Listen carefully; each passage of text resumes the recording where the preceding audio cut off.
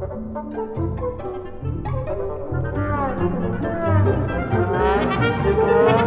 you.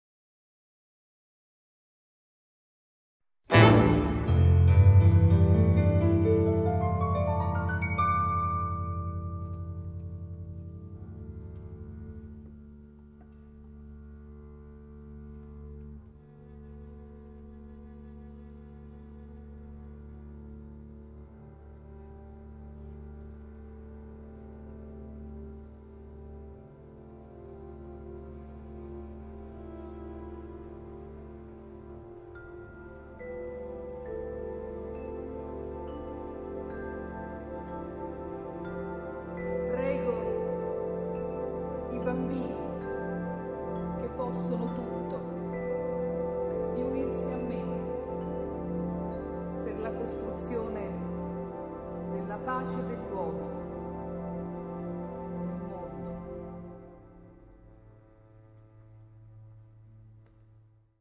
Secondo lei il discorso può essere ricondotto anche al tema del design Assolutamente e? Sì. Assolutamente sì. Eh, faremo un cattivo servizio al, al, a Maria Montessori, ma a tutto il movimento montessoriano, se limitassimo eh, il rapporto metodo eh, sistema educativo eh, solo ed esclusivamente ai materiali. Il pensiero montessoriano, il metodo montessoriano, ma più in generale la pedagogia montessoriana, che è una pedagogia estremamente variegata, ha tre momenti fondamentali da cui non si può prescindere, che sono i materiali, gli ambienti e gli spazi. Quindi il discorso del design oggi si è fatto decisamente importante, forse è uno degli elementi più importanti che possono esserci, perché pur riconoscendo ai materiali il loro valore pedagogico e di design, si immagini che la Montessori è stata definita una basic design, una proto design, quindi voglio dire, eh, perché ancora i materiali hanno questa grossa opportunità, parlo sempre di design, non, non a livello pedagogico, mm. quello eh, come montessoriano lo diamo per scontato, che hanno una validità pedagogica. E noi vorremmo cominciare a aprire anche un confronto a livello internazionale eh, sarebbe stata eh, una nostra ambizione continuare anche con un convegno internazionale. Abbiamo parlato dei materiali, vorremmo parlare a livello internazionale degli spazi, per esempio, o degli arredi, o dell'architettura in generale che deve ospitare una scuola montessoriana. Secondo noi questa è la nuova frontiera. La nuova frontiera è coniugare un metodo che non è giovane, non possiamo negare che è un metodo che è nato eh, circa cento anni fa, ma che ho non, non essendo un metodo pedagogico, ma è una pedagogia scientifica, non vive le mode pedagogiche del momento, ma ha certo. un, un grosso nucleo legato a una scientificità. Oggi, riconoscendo a quel metodo il suo grosso valore pedagogico, crediamo che il nostro sforzo debba essere quello di inserirlo in un contesto di attualità, non come metodologia, ma come ambientazione, tra virgolette, come concetto più ampio di come questo metodo e dove questo metodo si va a realizzare. Quindi l'evoluzione del bello, l'evoluzione del design, l'evoluzione dei materiali, l'evoluzione del, del luogo dove si accolgono i bambini. Quindi spazio, spazi assolutamente e arredi. Dall'altra parte eh, siccome sono un profondo ottimista, eh, dall'altra parte però voglio anche dire che se queste aziende continuano a produrre, evidentemente c'è una domanda. Allora, perché non ribaltiamo questo concetto noi montessoriani per primi, dicendo, ma se c'è una domanda e qualcuno produce, ma forse siamo noi che non siamo pronti ad accettare una nuova sfida legata a un nuovo design. Quindi la mia non è una critica a chi produce, perché è inutile cercare di fare soggetti che parlano dei massimi sistemi senza avere eh, poi un contatto con la realtà. L'economia, eh, la produzione è questa. Io, si produce fin tanto che c'è domanda. Eh? Il mercato, sono le regole del mercato. Sì.